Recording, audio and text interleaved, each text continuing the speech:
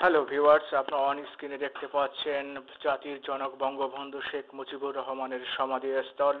এটি গোপালগঞ্জ জেলার টুঙ্গিপাড়ায় অবস্থিত।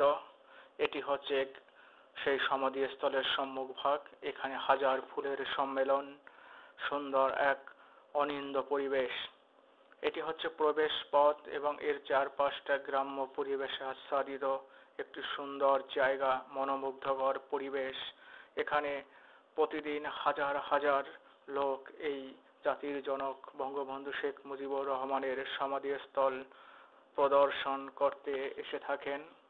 আমরা কয়েকজন ভ্রমণ পিয়াসু এখানে এসেছি।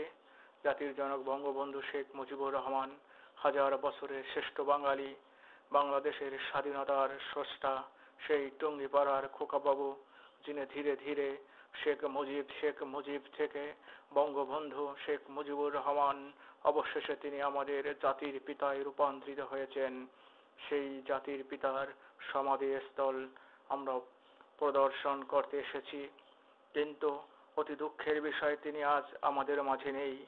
আজও আমরা স্মরণ করি জাতির পিতাকে, বাংলার প্রকৃতি ডাকে শেখ মুজিব আয়, বাংলার শস্য শ্যামল সুফলা, এই বাংলাদেশ প্রতিটি সবুজের কণায় কণায় লুকিয়ে আছে জাতির পিতার স্মৃতি। হ্যালো ভিউয়ার্স আপনারা দেখতে পাচ্ছেন, আমরা এখানে প্রবেশ করেছি এবং আমরা এখন সেই সামনের দিকে এগিয়ে যাচ্ছি। এটি হচ্ছে জাতির জনক বঙ্গবন্ধু শেখ মুজিবুর রহমানের সেই জাদুঘর ও পাঠাগার। এখানে আপনারা দেখতে পাবেন বঙ্গবন্ধু শেখ মুজিবুর রহমানের সেই কফিন, যে কফিন যে কফিনে করে তাকে বয়ে আনা হয়েছিল, সেই নির্মম ইতিহাসের সাক্ষী এই কফিনটি। এখন আমরা এই দ্বিতীয় তলায় প্রবেশ করেছি। এটি দ্বিতীয় তলা। এখানে অনেক দুর্লভ ছবি রয়েছে।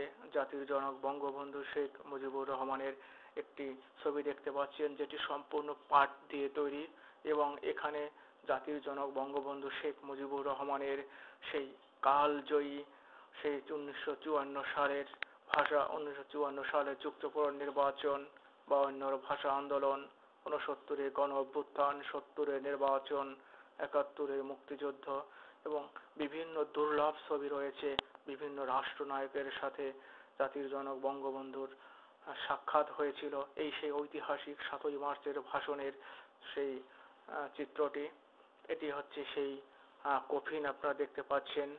এই কফিনে করে জাতির জনক বঙ্গবন্ধু শেখ মুজিবুর রহমানকে ঢাকা থেকে এই টুঙ্গিপাড়ায় আনা হয়েছিল। কফিনটি এখনও সুন্দরভাবে সাজিয়ে রাখা হয়েছে দর্শনার্থীদের জন্য। জাতির পতাকা খামচে ধরেছে সেই পুরনো শকুন।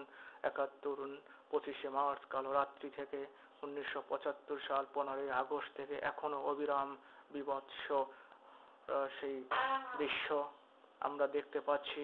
সেই জাতির জনক বঙ্গবন্ধু শেখ মুজিবুর রহমানের সেই দুর্লভ ছবিগুলো। এখানে যারা ভ্রমণ করতে আসেন, তারা এসব ছবি খুব সুনজরে দেখে থাকেন। কারণ এই ছবিগুলো সাধারণত বাইরে দেখা যায় না। এখানে যখন তারা আসেন, তখন প্রায় প্রতিটি ছবির প্রতিটি ছবির টাইটেল এবং প্রতিটি ছবির সাব টাইটেলটি পড়ে দেখার চেষ্টা করেন। বিশেষ করে এই ছবিগুলো ষাট কোটি মানুষের একটি নাম, শেখ মুজিবুর রহমান। সর্বকালের একটা মুজিব যদি হয় আমাদের জাতির জনক বঙ্গবন্ধু শেখ মুজিবুর রহমান, আমাদের হৃদয়ে আজও তিনি বহমান। যতদিন রবে পদ্মা মেঘনা, যমুনা কীর্তি বহমান ততদিন থাকবে এই পৃথিবীর বুকে বঙ্গবন্ধু, তুমি শেখ মুজিবুর রহমান। এই সেই বঙ্গবন্ধু জাদুঘর ও পাঠাগারটি এবং এটা পরিদর্শন শেষে আমরা যাচ্ছি জাতির জনক বঙ্গবন্ধু শেখ মুজিবুর রহমানের সমাধিস্থলে। সমাধিস্থলে যাওয়ার পথটি অনেক সুন্দর, অনিন্দ সুন্দর জায়গা এবং এখানে গাছ গাছালি দ্বারা আচ্ছাদিত এবং ফুলেল বাগান আপনারা দেখতে পাচ্ছেন সেই চিরসবুজের বুকে জাতির জনক বঙ্গবন্ধু শেখ মুজিবুর রহমানের সমাধিসৌধ কমপ্লেক্স। এটি বিভিন্ন ঘাস কেটে এটি করা হয়েছে, কারণ এই চিরসবুজের বুকে ঘুমিয়ে আছেন আমাদের জাতির পিতা, আমাদের ইতিহাসের মহানায়ক, আমাদের মুক্তিযুদ্ধ ও বাংলাদেশের স্থপতি, আমাদের হাজার বছরের শ্রেষ্ঠ বাঙালি। ইতিহাসের মহানায়ক, বাংলাদেশের স্বাধীনতার সপ্তদশটা জাতির পিতা বঙ্গবন্ধু শেখ মুজিবুর রহমান। আমরা সামনের দিকে এগিয়ে যাচ্ছি। আমরা দেখতে পাচ্ছেন এখানে খাদ্যদ্রব্য পরিবহন নিষেধ, কারণ এই জায়গাটি অত্যন্ত মর্মের স্পর্শে একটি জায়গা যেখানে আমাদের জাতির পিতা শুয়ে আছেন। জাতির পিতার সমাধিসৌধ কমপ্লেক্স ধূমপান মুক্ত এলাকা। এখানে কেউ ধূমপান করতে পারবেন না। আপনারা দেখতে পাচ্ছেন ওই যে কমপ্লেক্সটি দেখতে পাচ্ছেন, যতদিন রবে পদ্মা যমুনা গৌরী বহমান, ততদিন তোমার কীর্তি রবের শেখ মুজিবুর রহমান। এই সেই সমাধিসৌধ আপনারা দেখতে পাচ্ছেন। এখানে জাতির পিতা শুয়ে আছেন। সেই জাতির পিতার স্বপ্নকে সেই জাতির পিতার অসম্পূর্ণ কর্মকাণ্ডকে বর্তমান প্রধানমন্ত্রী জননেত্রী শেখ হাসিনা ষোলো কোটি মানুষকে একসাথে নিয়ে সেই স্বপ্ন বাস্তবায়নের দিকে ধাবিত আছেন, ধাবিত রয়েছেন অপ্রতিরোধ্য অগ্রযাত্রায় বাংলাদেশ। বাংলাদেশ এগিয়ে যাচ্ছে, বাংলাদেশ এগিয়ে যাবে।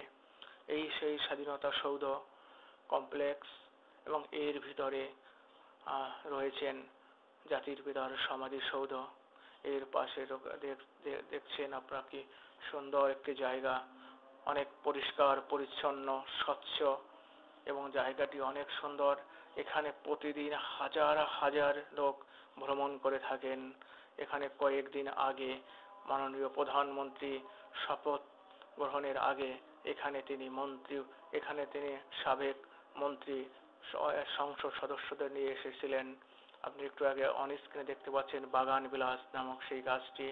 এটি বঙ্গবন্ধু শেখ মুজিবুর রহমানের বৈঠকখানা। এখানে বসে বঙ্গবন্ধু শেখ মুজিবুর রহমান তিনি ইতিহাসের সেই কালজয়ী কালজয়ী ব্যক্তিদের সাথে বৈঠক সভা করেছিলেন এবং এটি সেই স্বাধীনতা সেই জাতির জনক বঙ্গবন্ধু শেখ মুজিবুর রহমানের সমাধিসৌধ। এর চারপাশটা আপনাদেরকে আমি একটু ঘুরিয়ে দেখানোর চেষ্টা করছি। এবং আপনারা দেখতে পাচ্ছেন বেদির উপর বসবেন না, কারণ এই জায়গাটি খুব সংরক্ষিত জায়গা এবং এই জায়গাটি অনেক সুন্দর এবং এখানে আর্মড পুলিশ ব্যাটালিয়ান রয়েছে।